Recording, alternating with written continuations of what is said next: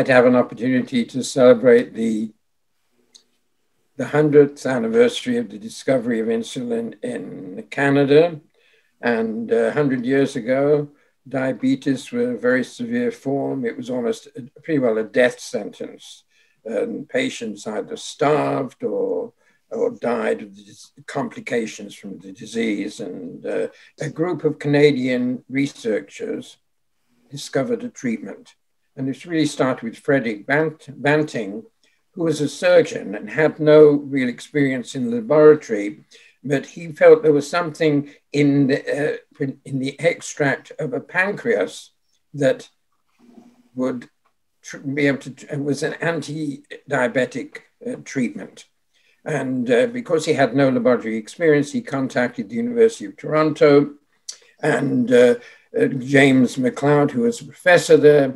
He sort of helped him set up, and uh, they got a, a, graduate student. And interestingly enough, the, there were graduate students. There was a toss-up, uh, a coin toss-up, and the uh, and Charles Best was a graduate student that won the coin, and he worked with um, Frederick Banting.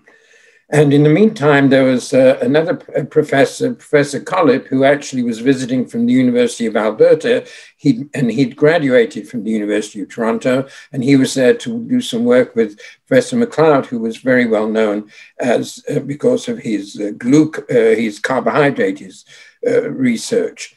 And um, so, anyway, the Banting and Best were working, and James McLeod, who was sort of was sort of supervising sort of, and he recommended that Collip, who had a strong chemistry background, would could purify whatever extract they were producing so that you they could actually inject it.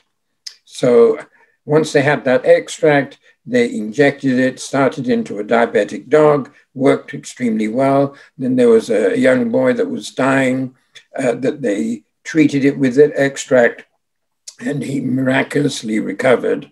And as a result of that, uh, Banting and uh, McLeod got the Nobel Prize.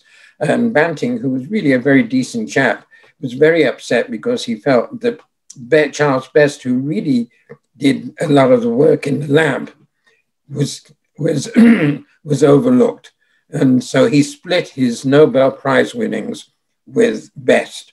But essentially, the combination of Banting, Best, McLeod, and Collip were really the four key people in uh, the discovery of insulin, which was later characterized by Sanger, and he got the Nobel Prize in, uh, in the 80s for that.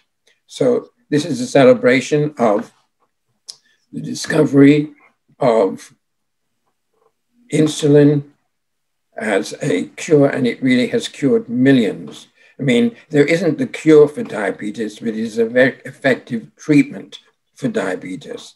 Unless the cure will be if they can do something genetically that they will allow the production of insulin.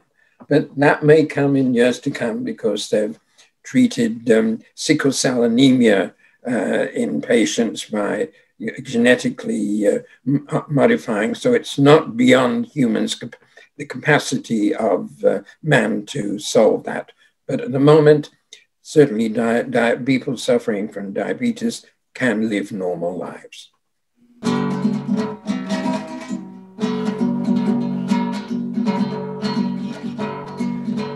Year marks a century for Canada's insulin discovery. The first experiment ever done was on November 1921. Was on November 1921. Without it, millions would have died, as diabetes is still worldwide. Without it, millions would have died, as diabetes is still worldwide.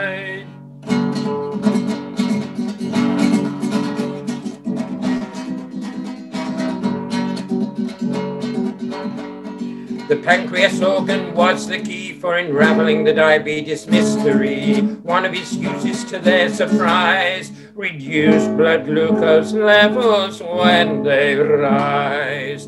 reduce blood glucose levels when they rise.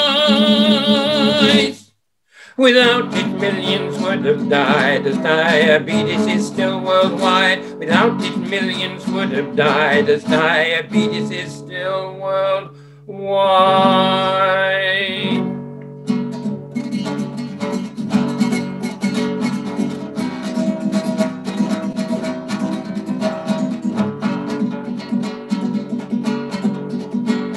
Freddie Banting cloud, and Charles Best used pancreatic extracts in a crucial test. On a diabetic dog, they achieved success as blood glucose levels did get less. As blood glucose levels did get less. Without it, millions would have died, as diabetes is still worldwide. Without it, millions would have died, as diabetes is still worldwide.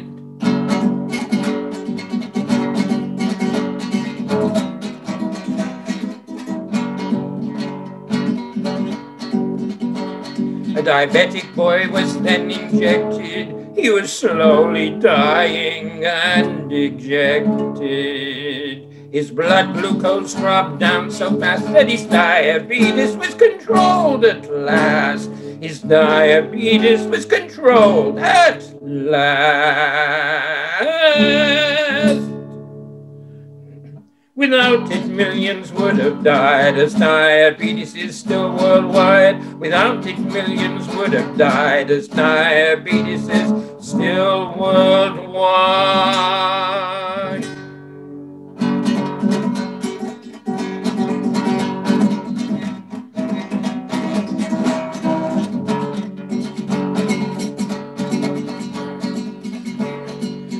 Insulin was the key for diabetics to live normally. Every year we dedicate a day in honor of Banting's birthday. In honor of Banting's birthday. Without it, millions would have died, as diabetes is still worldwide. Without it, millions diabetes is still worldwide.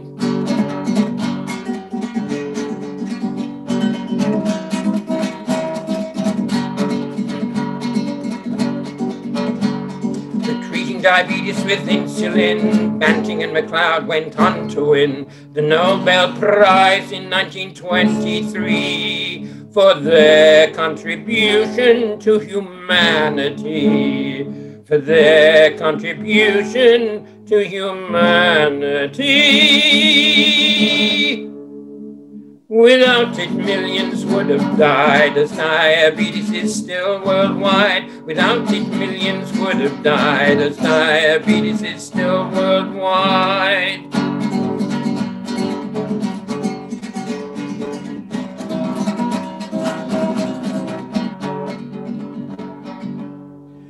Now diabetes is under control.